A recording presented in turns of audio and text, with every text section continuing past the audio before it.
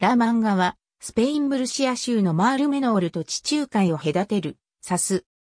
マールメノールのラ・マンガとも呼ばれる。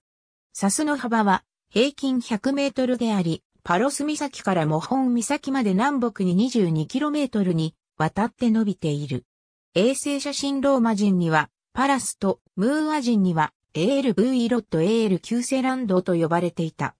17世紀には、呼び名がマールチコに変化し、やがてマールメノールとなった。もともとマールメノールは湖ではなく地中海に開けた湾だった。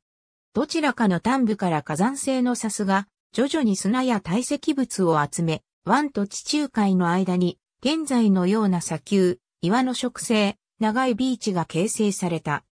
ラマンガの砂スは自然に形成された何本かの水路で寸断されており、ゴラスと呼ばれるこれらの水路がマールメノールと地中海の間の水の通行を許している。ラマンガやマールメノールの最寄りの空港はムルシア・サン・ハビエル空港である。1865年1月31日にはパロス岬灯台が稼働を開始した。パロス岬はパロス岬、オルミガス諸島海洋保護区に含まれている。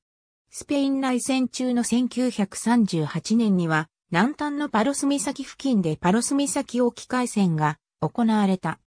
1960年代までラマンガの開発は手つかずだったが、1960年代には観光リゾート地として目をつけられ、地域の都市化や観光インフラの建設が行われた。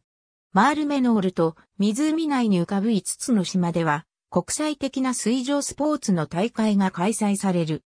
近隣にはセーリング学校と水上スキー学校が開校しており、ウィンドサーフィン、総動ヨット、カヌーなども行われる。ロスベロネスにはエスタディオデラマンガがあり、1999年から毎年冬季に北欧諸国のサッカークラブが集まって開催されるラマンガカップを主催している。ありがとうございます。